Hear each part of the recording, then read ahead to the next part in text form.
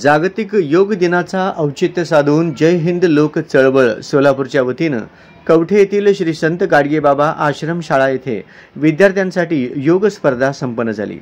यावेळी योगा प्रशिक्षकांचा सन्मानही करण्यात आला.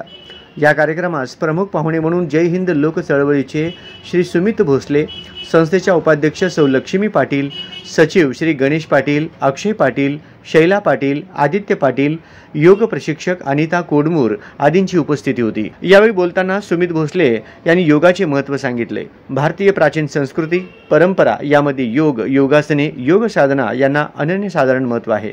आजच्या काळातील धकाधकीच्या जीवनात योगाच्या माध्यमातून आपण आपले शरीर तर तंदुरुस्त ठेवू शकतो. शिवाय मनावरही चांगले संस्कार करू शकतो. या हेतूनेच ही स्पर्धा भरवण्यात आल्याचं सुमित भोसले यांनी सांगितले. योग प्रशिक्षक अनिता कोडमोल यांनी योगासने शिकवली. त्यानंतर विद्यार्थ्यांची योग स्पर्धा पार पडली. स्पर्धेतील विजेत्या विद्यार्थ्यांना आकर्षक बक्षिसे देण्यात आली. यावेळी योग प्रशिक्षकांचा सन्मान करण्यात आला. या कार्यक्रमास सूर्या धप्पादुळे सुहास मस्के व स्नेहल भोसले जिशान मुजावर दीपक धामुरे अनिरुद्ध दैवडे लक्ष्मीकांत शिवशेट्टी रमजान पाटील अमोल कोटकोंडे व सुनील अरबत आदी उपस्थित होते.